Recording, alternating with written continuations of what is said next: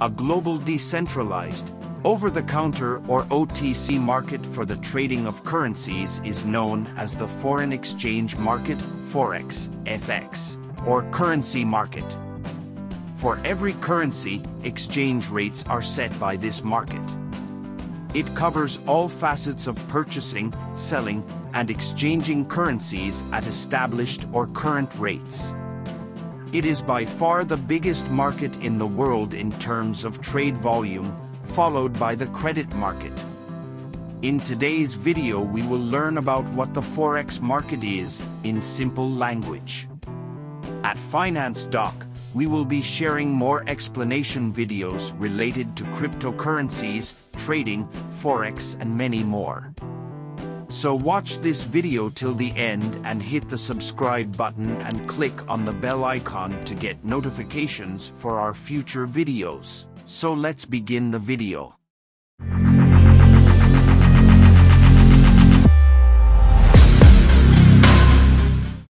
Participants in the Forex market, including banks and individuals, are able to purchase, sell, or swap currencies for speculative and hedging purposes.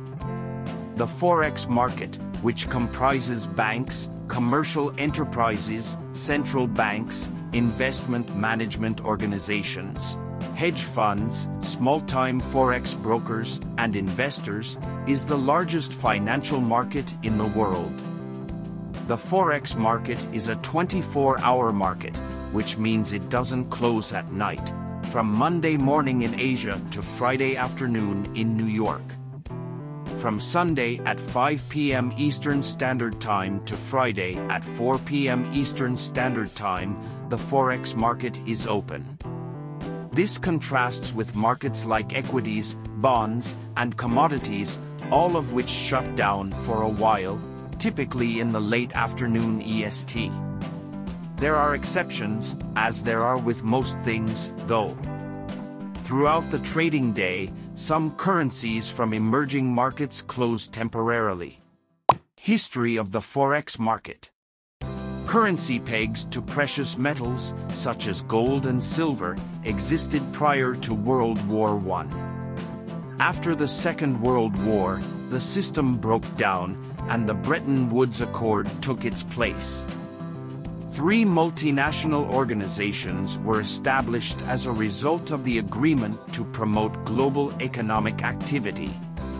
These were among them International Monetary Fund IMF General Agreement on Tariffs and Trade GATT International Bank for Reconstruction and Development IBRD the US dollar took the place of gold as the world currency's peg under the new arrangement. The American government pledged to have similar gold reserves to back up currency supplies.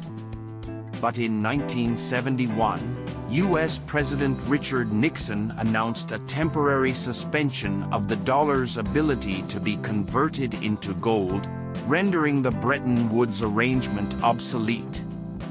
Since currencies can now choose their own peg, supply and demand on global markets determines their value. Types of Forex markets.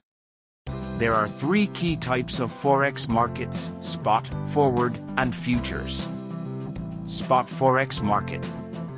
The immediate exchange of money at the current exchange rate between buyers and sellers is known as the spot market.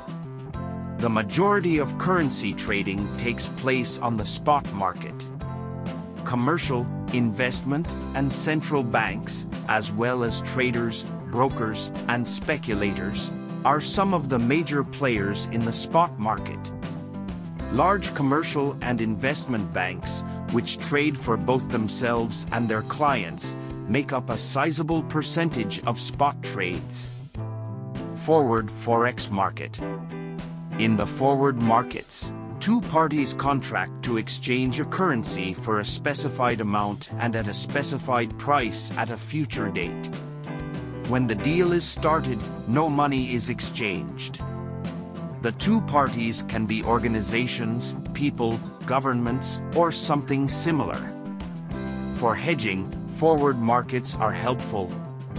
On the negative side, forward markets are largely illiquid and lack centralized trading, since there are just the two parties. There is also counterparty risk, which is the possibility that the other party will stop paying.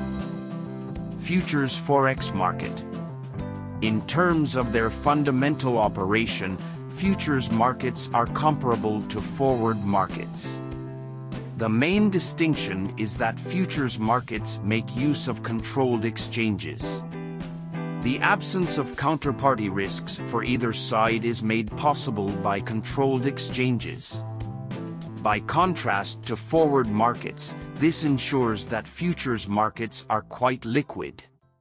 Big players in the forex market.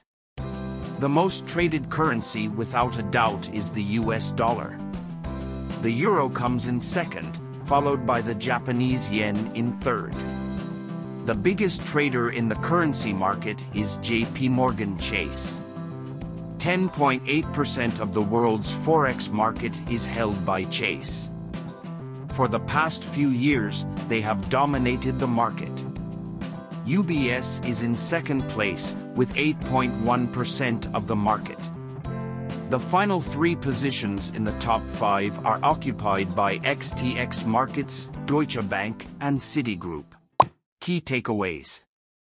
Participants in the Forex market, such as banks, funds, and individuals, are able to buy, sell, or swap currencies for speculative and hedging purposes. Every day, trillions of dollars are traded on the currency market, which is open 24 hours a day, 5.5 days a week. Forex trading carries a high risk and potential for large gains. The interbank market and the over-the-counter OTC market are the two layers that make up the currency market. With just $100, many Forex accounts can be opened. Thank you for watching this video. If you like this video don't forget to hit the like button and subscribe to the channel so that you don't miss out on our upcoming videos.